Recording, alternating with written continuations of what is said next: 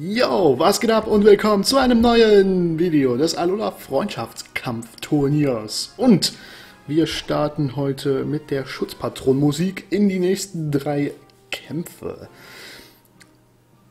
Das letzte Video war ein bisschen so komisch. Ne? Da habe ich erstmal gewonnen, dann habe ich erstmal krass verloren und dann habe ich verloren, weil ich einfach dumm bin und einfach krass. Und dann gucken wir mal, wie die nächsten drei Kämpfe denn heute so werden. Nebenbei, ne, wenn euch das Video gefällt, könnt ihr gerne einen Like da lassen. Wenn es euch nicht gefällt, dann lasst halt einen Dislike da. Das ist mir relativ egal. Macht, was ihr wollt. Und wir hoffen einfach auf gute und vielleicht auch spannende Kämpfe.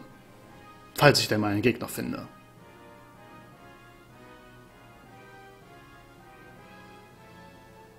Falls ich einen Gegner finde.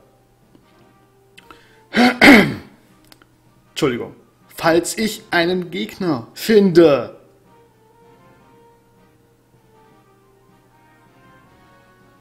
Gut, ich glaube, das funktioniert so nicht. Nicht so wirklich.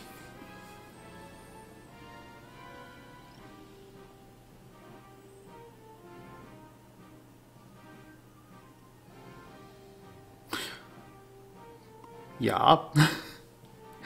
Guck mal, jetzt ist das Video schon über anderthalb Minuten lang und ich habe noch nichts getan. Das ist peinlich. Die Suche war nicht erfolgreich. Hör mal, was ist eigentlich dein Problem? Die Suche hat erfolgreich zu sein. Das ist natürlich der beste Anfang für ein Video. Natürlich, direkt, instant.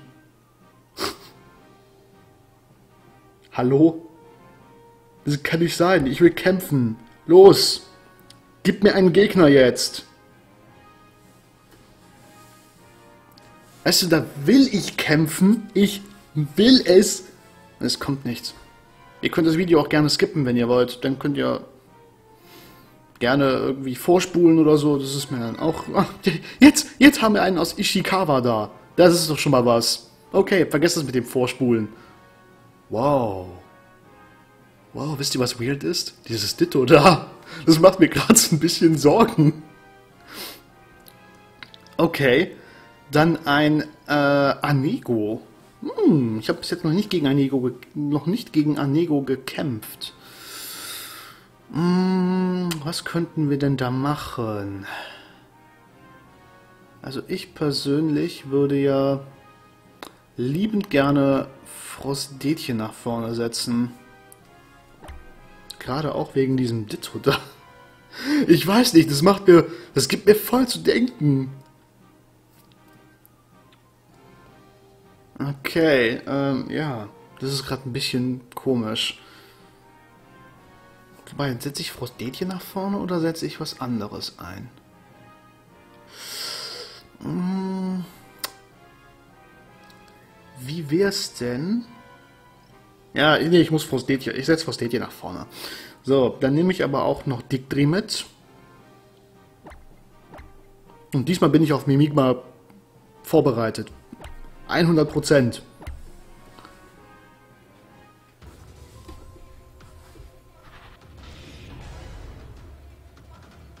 Witzig ist, dass ich Schutzpatronenmusik laufen lasse und keinen Kapukime mitnehme. Aber weiß ich, Kapukime gerade nicht so wirklich gut macht, finde ich. Jetzt gerade so in dem Team hier.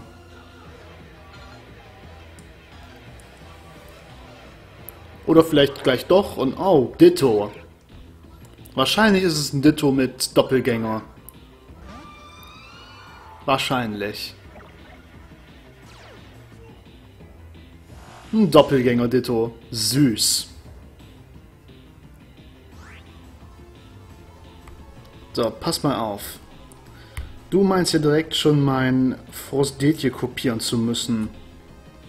Und ich gehe fast so weit zu sagen, dass dieses Ditto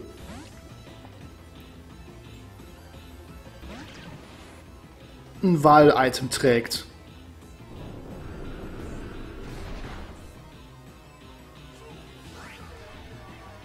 So, ich mache jetzt Tiefschlag. Na, wie schmeckt dir das, Detto? Ew. Hallo.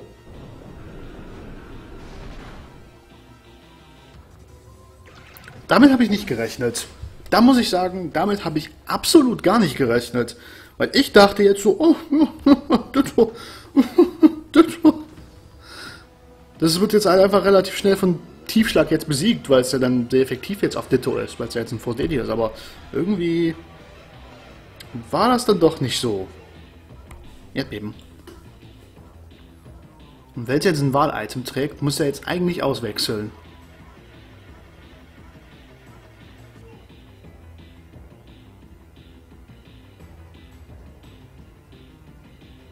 Eigentlich. Ja. Ich kann mir schon fast vorstellen, dass er ein... Äh, uh! Uh! Das hätte ich jetzt an deiner Stelle nicht getan. Vielleicht hat das Magnetzone ja noch Robustheit, aber trotzdem. Oh, es hat keine Robustheit. Okay. Das war's dann für dich, Magnetzone. Magnetzone.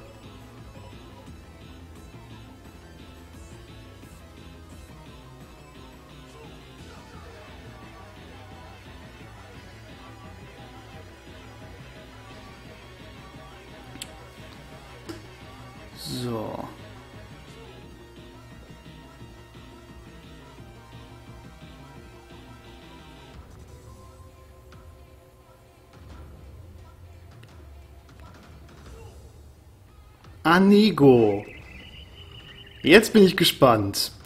Das ist jetzt das erste Mal, dass ich auch gegen Anego in einem Online-Kampf kämpfe. Und vielleicht kann ich es auch direkt besiegen.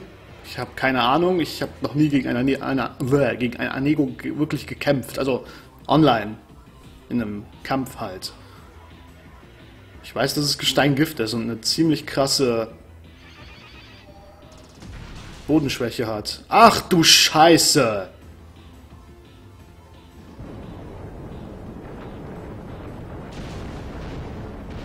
Ja, das war's dann, Anego. Aber Psychoschock hat mich schon geschockt, ja.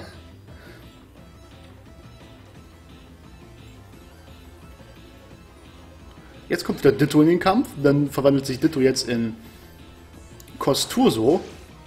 Aber Costoso kann nicht wirklich was gegen mein Frostetje machen.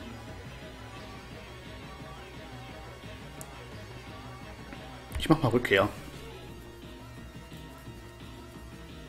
Ich hätte Hammerarm machen können. Wieso machst du Erdbeben? Ja, okay, es hat gereicht. Ja, okay. So, Frostetje, du bist jetzt dran.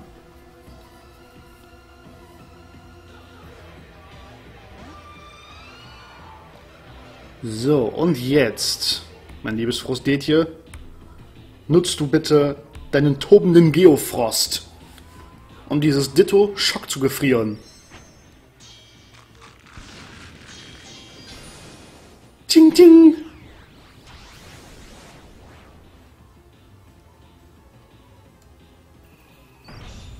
Tobender Geofrost.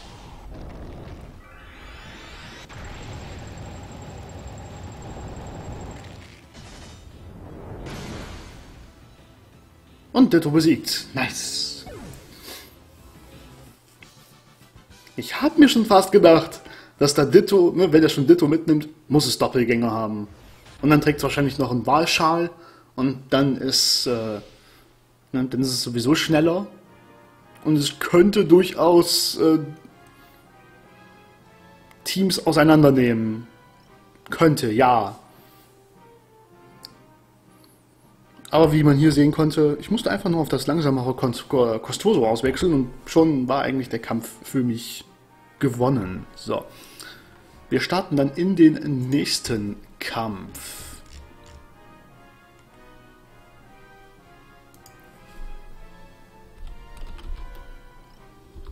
Muss nur mal gerade eben kurz nebenbei mal was nachschauen.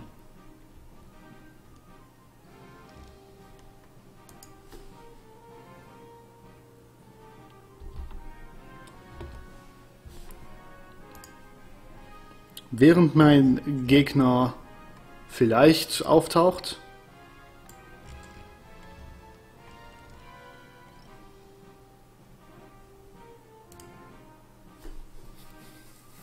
Nebenbei, Fun Fact, wenn man Wandler mit einem Z-Kristall nutzt, also im Prinzip dann Z-Wandler hat. Oh, eine Japanerin. Oh, super, noch so ein hoher Rang.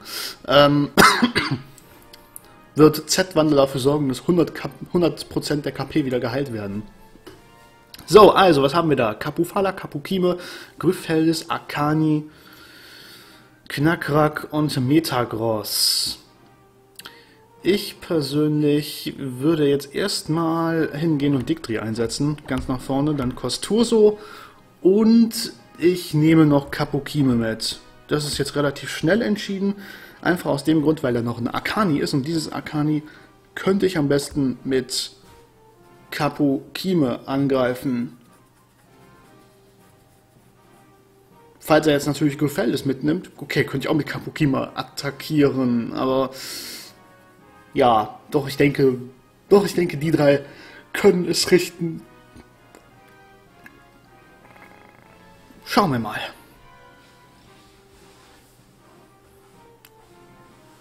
Schauen wir mal.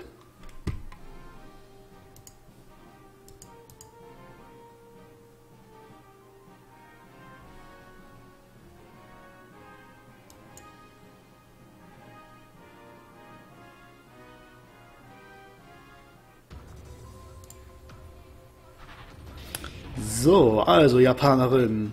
Oder vielleicht ist es wirklich nur ein Japaner und äh, hat sich einfach den weiblichen Charakter genommen.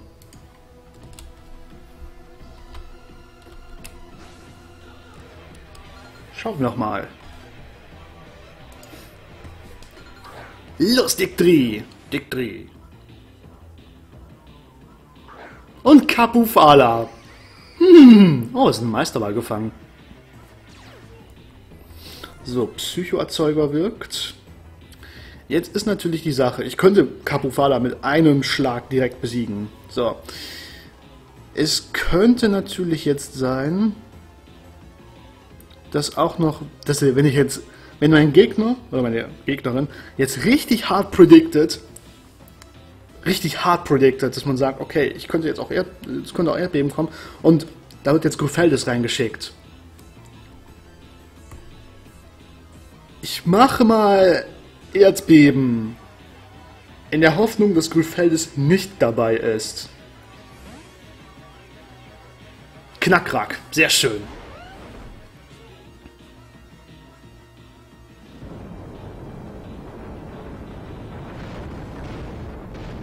Hm.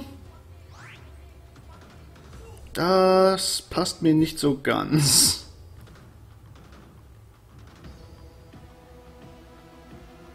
Hm.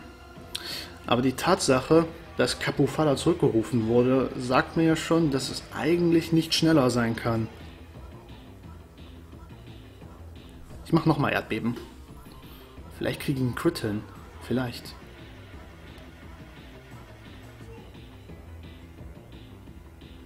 Ich hoffe ja mal, dass Knackrack hat kein Wahlschal.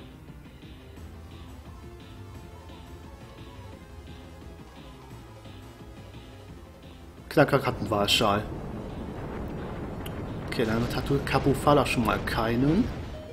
Schon mal gut zu wissen.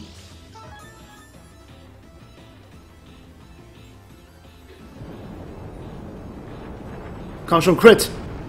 Komm schon! Ah. Nee, ich kann leider nicht drin bleiben. Ich könnte Tiefschlag machen, aber dann hat Knackrack bestimmt noch Rauhaut als Fähigkeit und dann ist Dick weg und dann habe ich ein Problem. Das möchte ich jetzt nicht riskieren, also schicken wir jetzt mal Costoso raus.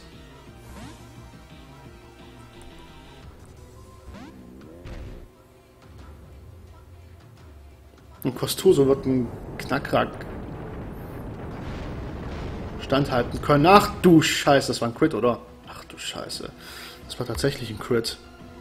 Ähm, ja, ich mach mal Heap. Holy shit. Mit dem Crit habe ich natürlich jetzt nicht gerechnet. Und wahrscheinlich wird der Crit jetzt auch... Äh, oder wahrscheinlich wird jetzt Kostos auch besiegt werden. Super. Das äh, ist schon mal ganz schlecht. Ich habe nämlich nur noch ein 1 KP Diktri. Das ist nicht gut. Das ist ganz und gar nicht gut. Ich kann damit Kapufala direkt besiegen, ja, aber... Das war's auch dann schon. Lake.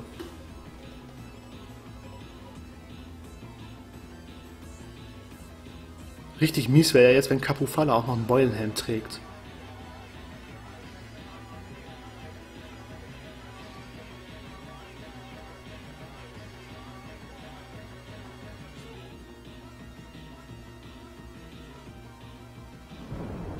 Schade, dass ich Donarion jetzt nicht dabei habe.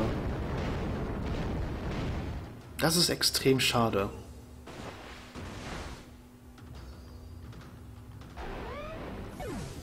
Und ich hoffe jetzt nicht, dass Kapufala reinkommt.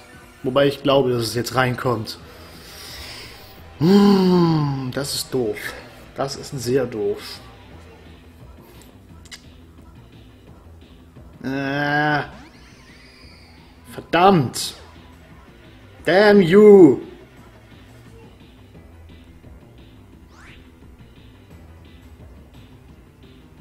Ich mach mal Mordgewalt.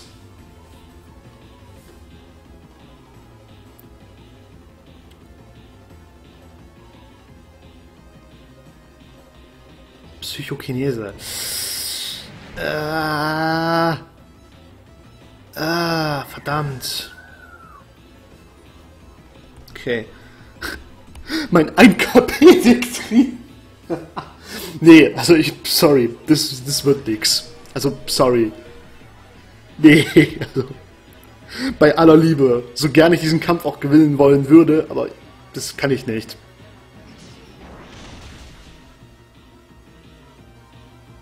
Weil jetzt müsste, jetzt müsste noch ein Pokémon kommen. Und das Einzige, was mir jetzt einfällt, wäre Arcani.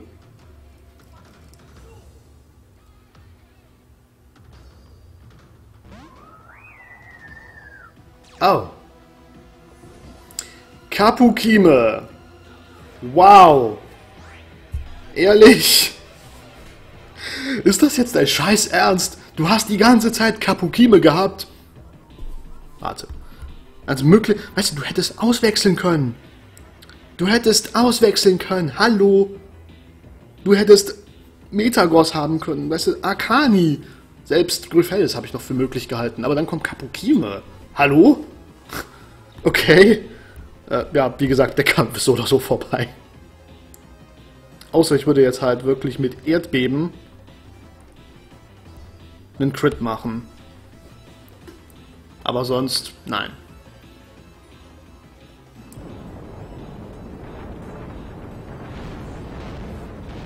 Ne. Wow, Surfer. Yay.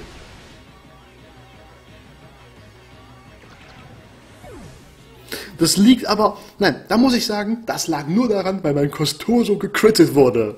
Wäre das nicht passiert, wäre der Kampf vielleicht sogar noch ein bisschen anders abgelaufen.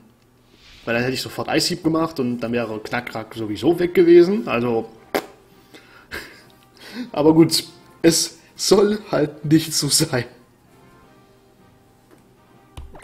Egal. Das ist doch sowieso nur weiß ich nicht, fun-mäßig halt. Und wir starten jetzt auch in den letzten Kampf für dieses Video. Ja. Der letzte Kampf für dieses Video.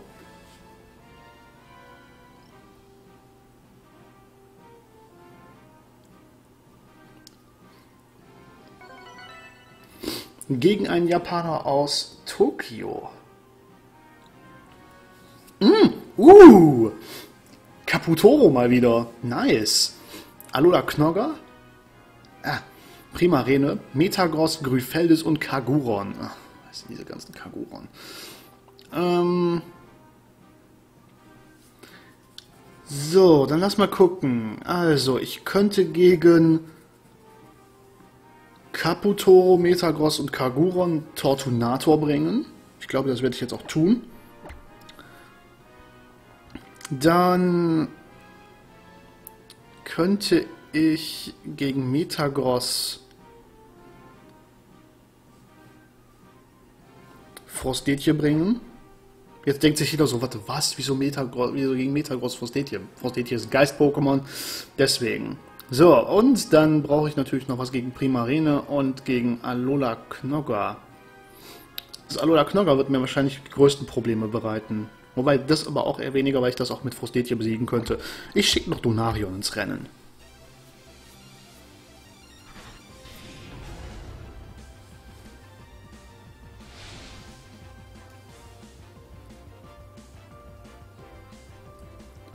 Und dann schauen wir doch mal. Dann schauen wir doch mal. Alola Knogger kommt rein. Ah ja.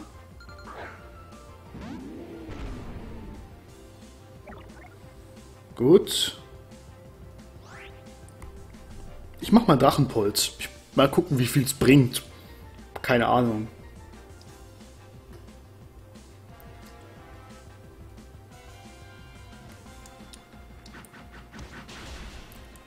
Mmh, Knochenrang. Super, wird auch nicht von Beulenhelm beeinflusst. Ganz, ganz, ganz klasse.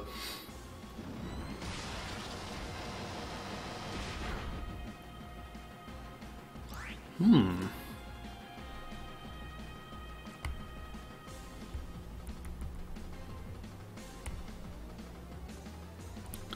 So, wir tauschen mal aus. Weil, ich weiß nicht. Ich muss auf Donarion wechseln. Wobei, wenn Knogger jetzt gleich Flammenblitz macht, ist mein Donarion weg. Also, äh, das ist jetzt doof. Nur muss ich jetzt halt mal gucken, dass dieses Knogger da verschwindet. Und mit Tortunator werde ich das nicht schaffen. Donarion ist eigentlich so der Schlüssel für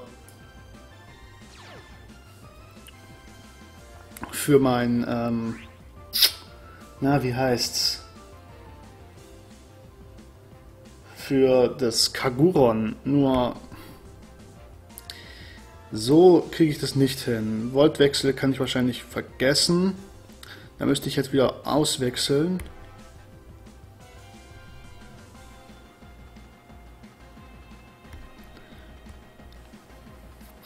Oder ich mache wirklich mit Käfer. Ja, wobei Käfergebrumm wird mir nicht viel bringen. Da wird mir Lichtkanone wahrscheinlich mehr bringen gucken. Lichtkanone 80. Energieball hätte 90. Ich glaube, da mache ich Energieball, weil ich glaube, Käfergebrumm wird ja auch gegen Geist-Pokémon nichts bringen. Und dann macht es absolut keinen Schaden. Ah, Flammenblitz. Ah, ich habe damit schon gerechnet. Autsch. Au. Ein Crit. Au. Gut. okay.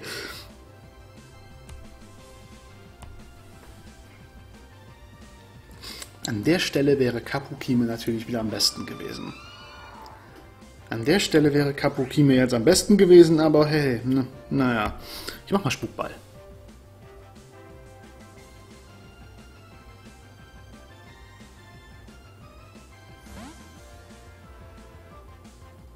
Hm, Kaguran kommt rein. Super. Ist ja gerade genau das Pokémon,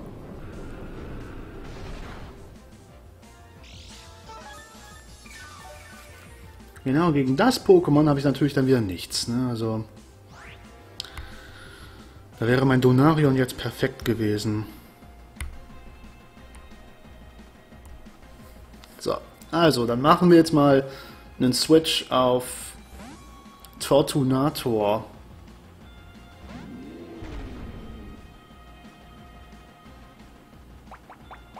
Diese ganzen Kaguren mit Egelsamen. Ne? Also, ich weiß nicht. Ich weiß nicht, welches Pokémon mich am meisten abfuckt in diesem Turnier.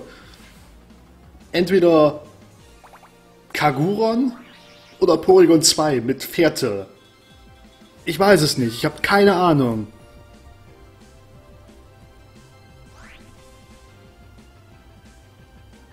Ich mach mal Flammenwurf.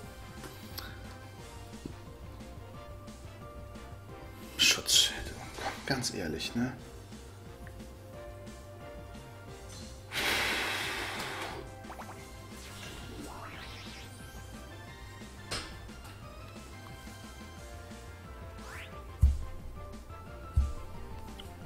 Junge, Junge, Junge, ey. Dieses Kagoron. Durchweg, durchs ganze Turnier. Gib mir das tierisch auf die Nerven. Oh, wir wechseln jetzt wieder auf Knogger aus. Yay! Ich würde ja jetzt lachen, wenn der Flammenwurf jetzt auch noch ein Crit wäre und es auch besiegt. Naja, gut.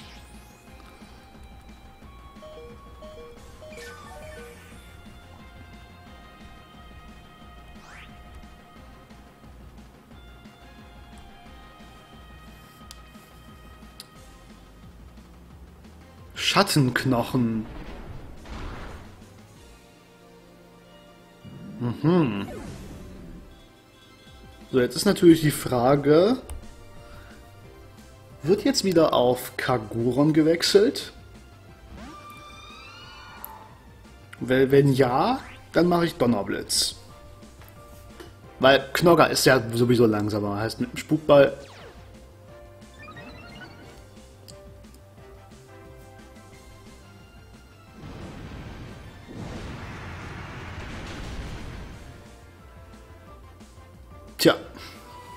was soll ich sagen?